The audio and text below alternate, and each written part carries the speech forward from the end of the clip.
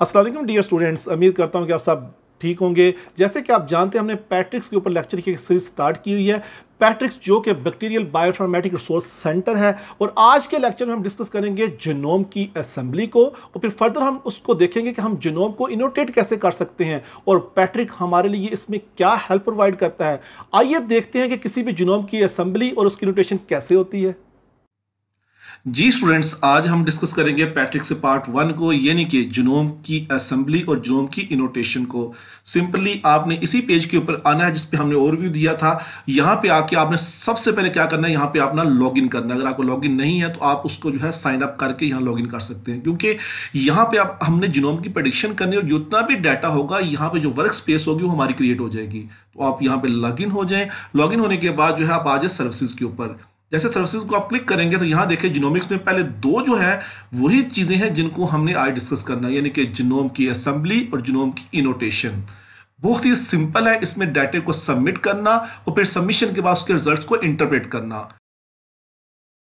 सबसे पहले आपने क्लिक करना है जिनोम की असेंबली को। जस्ट हम क्लिक करेंगे असेंबली पे तो ये देखिए हमारे पास जो है इनपुट जो है एक फॉर्म जो है यहाँ पे आ जाएगा।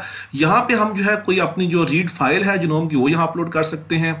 या सिंगल रीड लाइब्रेरी वो यहाँ पे अपलोड कर सकते हैं। या हमारे पास क्या है? एस आर ए नंबर जो होता है सिंगल रीड जो हमारे पास आर्काइव की जो एक्सेशन नंबर वो भी यहाँ पे दे सकते हैं। अब आपके जहन में आ रहा होगा कि एस एस आर या एस आर ए नंबर जो है, हम कहाँ से लेंगे? बहुत सिंपल है इसके लिए। आपको आना पड़ेगा एन सी बी आई के ऊपर। एन सी बी आई के ऊपर जब आप आते हैं तो यहाँ पे आल डाटाबेस में देखें तो यहाँ पे एस आर ए का जो है, वो ऑप्शन अवेलेबल है। यानी कि सिंगल रीड आर्काइव कहते हैं इसको अगर आपका जिनोम कोई भी, क्योंकि आज हम जो एग्जांपल आपसे शेयर करने जा रहे हैं, वो हमने अपने ही जिनोम को जो हमने सबमिट किया हुआ है एनसीबी के ऊपर जो है, उसकी डिटेल और उसकी असेंबली और उसकी नोटेशन आपको देंगे।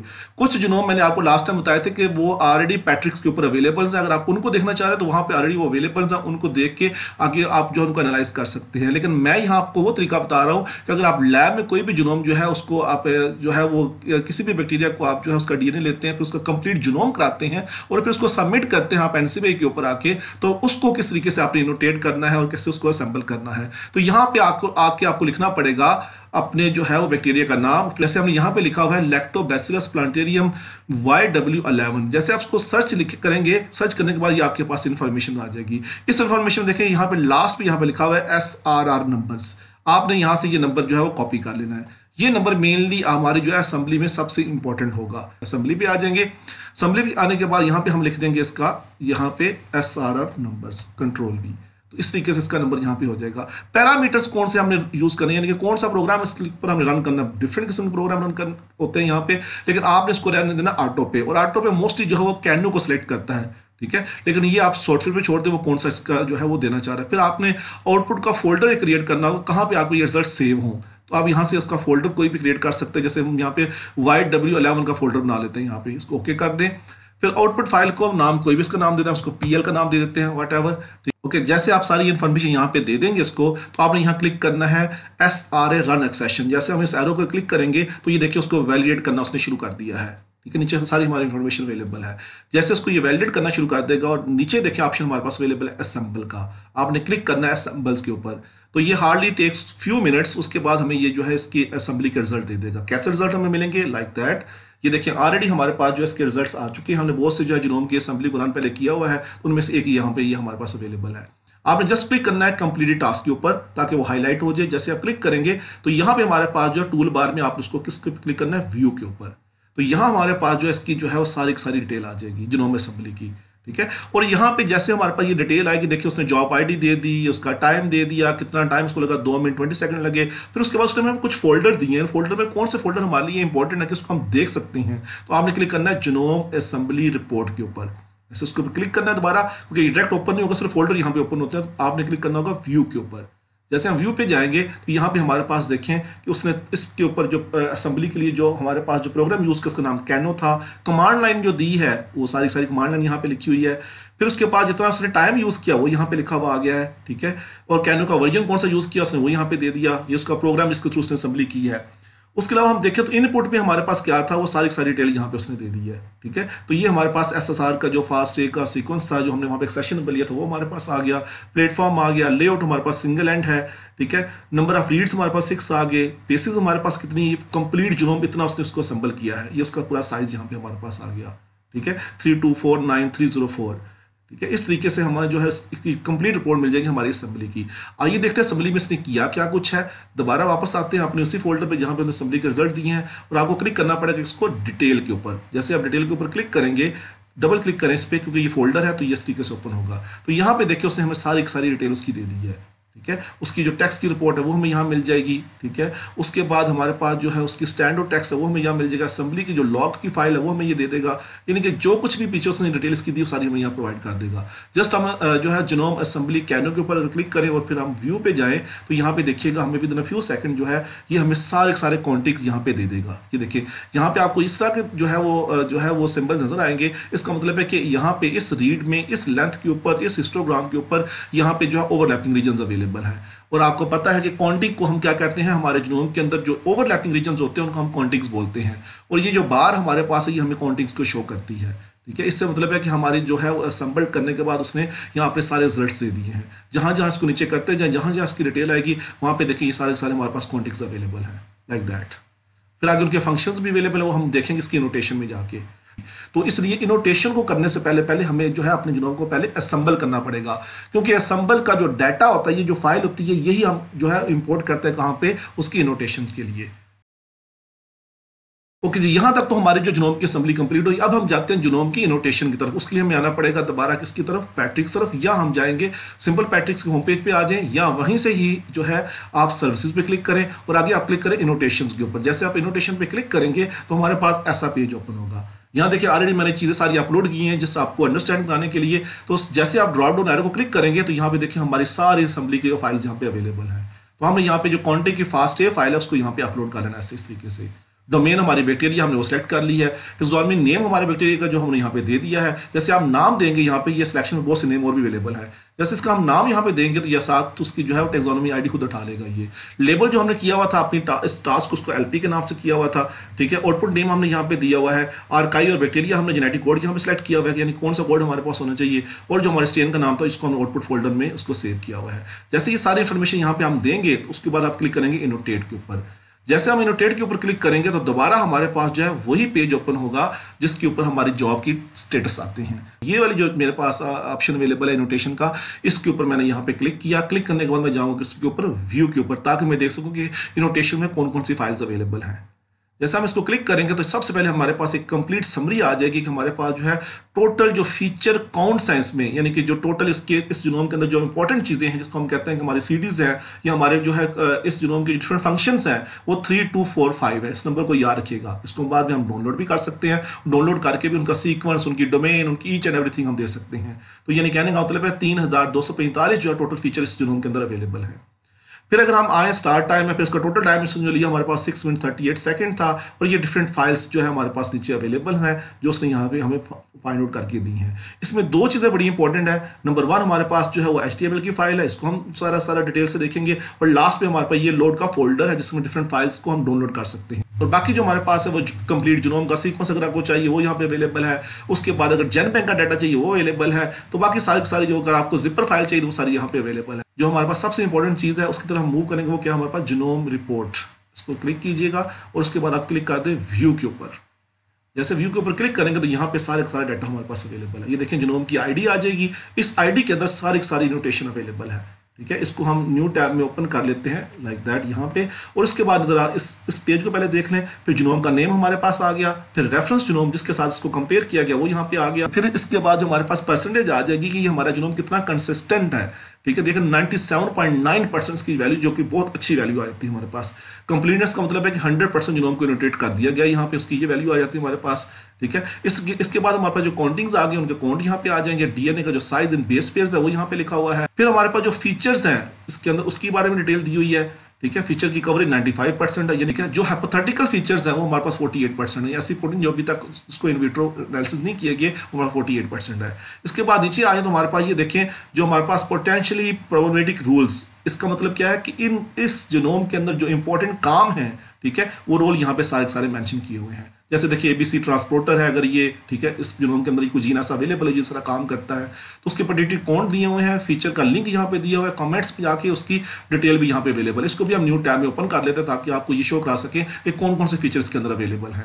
ओके okay, जैसे हम इस पेज को ओवरव्यू कर लें तो फिर हमें आना पड़ेगा जुनूम की आईडी के ऊपर। क्लिक करें इस जुनूम की आईडी के ऊपर तो ये इस तरीके से हमारे पास जो है वो ऑप्शन ओपन होंगे। जैसे कि लास्ट टाइम मैंने आपको बताया था ओवरव्यू में कि ये सारी की सारी चीज़ें हम अपने जुनूम के अंदर जो है नोटेट करके देख सकते हैं। तो सबसे पहले क्या हमारे पास इसका ओवरव्यू है? ओवरव्यू में हमारे पास उसकी काउंटिंग की डिटेल आ जाएगी होल जुनोम सीक्वेंस है और उसकी क्वालिटी हुई गुड है ठीक है कंसिस्टेंट नाइन्टी सेवन परसेंट वो सारी चीज़ें हमारे पास पहले थी। सीडीज कितनी यानी कि इसमें कोडिंग सीक्वेंस कितने हैं हमारे पास ठीक है? वो हमारे पास तीन हज़ार एक सौ एक हैं। फिर हमारे पास टी आर ने टोटल कितने इसमें सिक्सटी सिक्स हैं।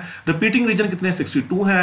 आरआरएनए कितने वो सिक्सटीन है। ठीक है? उसके बाद अगर हम आ जाए नीचे हाइपोथेटिकल प्रोटीन के ऊपर तो तेरह सौ बाईस जो हमारे पास हाइपोथेटिकल प्रोटीन है। अगर हम देखें तो हमारे पास ये ट्रांसपोर्टर हो गए, जिसमें 14 टोटल जीन है, जो कि एज ए ट्रांसपोर्टर काम करते हैं। फिर उसके बाद जो ड्रग टारगेट्स हैं, यानी कि इस जुनोम के अंदर कोई ऐसा जीन या प्रोटीन अवेलेबल है, जिसको हम एज ए ड्रग यूज़ कर सकते हैं तो वो हमारे पास यहाँ यस एक जीन यहाँ पे अवेलेबल है। तो उसकी डिटेल आप उसके क्लिक करें तो आपको उसकी डिटेल दे देगा। फिर एंटीबायोटिक रेजिस्टेंस अगर इसके अंदर जीन अवेलेबल है, वो ट्वेंटी फाइव जीन अवेलेबल है। ओके इसके बाद जो है आप एंटी माइक्रोबियल रेजिस्टेंस जीन को भी दे सकते हैं। हम क्लिक करते हैं फाइलोजनी के ऊपर। फाइलोजनी में देखें तो हमारे पास डिफरेंट कलर्स में जो है डिफरेंट जुनोम जो आज तक सीक्वेंस हुए हैं, उनकी सारी डिटेल यहाँ पे अवेलेबल है। देखिए रेड कलर में हमारे पास स्टेप्टोकोकस है। इसकी जो है इसके इंसेस्टर किस, कहाँ लिंक करते हैं, कितना दूर है हमारी स्पीशी से हमारे जीनस से, हमारे बैक्टीरिया से, वो हम नीचे देखते हैं। तो ये सारे हमारे पास जो स्टेप्टोकोकस आ गए हैं, ठीक है? फिर उसके बाद जो है स्टेप्टोकोकस की दूसरी स्पीशी नोमनाई हमारे पास यहाँ पे सारी आ जाती है। और अगर हम ग्रीन में आए तो यहाँ पे हमारे पास लेप्टोकोकस आ जाते हैं सारे के सारे, ये देखिए वहाँ, यहाँ पे दिए हुए हैं उसकी और साथ उनकी बूस्टर वैल्यूज़ भी दी हुई हैं, ठीक है? फिर एंटेरोकोकस आ जाते हैं। यानी कि जिस भी जीनस जो जीनस से करीब करीब जीनस है, इसकी उनकी सारी डिटेल यहाँ पे अवेलेबल है। लेकिन ब्लू में आए जरा, ये देखें, ये ब्लू में वो तमाम के तमाम जिनोम यहाँ पे अवेलेबल है, जो कि हमारे बैक्टीरिया के हैं, जिसको हम लैक्टोबैसिलस कहते हैं। स्पीशीज डिफरेंट है इनकी। लेकिन हमारी जो स्पीशीज जो प्लांटेरियम है, वो ये देखिए सेंटर में ये सारे प्लांटेरियम आई हुई यहाँ पे, ठीक है? तो यूँ यहाँ पे हमारे जो है वो जिनोम की बेस पे जो हमारे इस जिनोम के इंसेस्टर बैक्टीरिया वो सारे सारे यहाँ पे अवेलेबल्स हैं। तो यहाँ से हम सारी सारी इसकी फाइलोजनी को देख सकते हैं। फिर हम जिनोम ब्राउज़र पे आए। हम ऑलरेडी डिस्कस कर चुके हैं। आपसे एक लेक्चर में कि जिनोम ब्राउज़र के ज़रिए हम इसके जीन की नोटेशंस कर सकते हैं। जिसके ऊपर जब कर्सर रखेंगे, वो आपको उसकी जीन के बारे में बताए। यहाँ पे देखिए मैंने कर्सर रखा तो ये हमारे पास एल सेरीन डिहाइड्रेटेज है। तो सिमिलरली इस तरीके से अगर हम सर्कुलर व्यू पे जाएँ तो ये हमारे जुनोम का सर्कुलर व्यू अवेलेबल है। ये मोस्टली हम आर्टिकल में यूज़ करते हैं। ये सर्कुलर व्यू क्यों जुनोम का दिया हुआ है? इसके अंदर जो भी डिटेल है, इसके अंदर कितने प्लाज्मेंट्स हैं, इसके अंदर कितने हमारे पास जो है वो सीडियस रीजन है, कितने कॉन्टिंग्स हैं, कितने क्रोमोसोम्स हैं, वो सारे सारे यहाँ कलर से ये मैंशन यहाँ पे किए हुए हैं। इस तरीके से ग्रीन कलर में देखें तो हमारे पास सीडीज अवेलेबल है। ये सारी सीडीज जो है वो अवेलेबल है। ठीक है? सीडीज मतलब प्रोटीन कोडिंग रीजन ये जो पूरी बार आपके सामने नज़र आ रही है प्रोटीन कोडिंग रीजन की है। ठीक है? और जो सबसे ऑर्डर आपके पास जो नज़र आ रही है ट्रांसपोर्टर रीजन की, क्योंकि ममरेन है तो मम्रेन में सारे ट्रांसपोर्टर्स होंगे, ठीक है? और इस तरीके से अगर सेंटर में आए तो कहें कि आपको ये स्पॉट्स नज़र आ रहे हैं on the basis of these colours यहाँ पे सारी डिटेल उनकी दी हुई है। यानी ड्रग टारगेट में ब्लैक कलर में होंगे हमारे पास।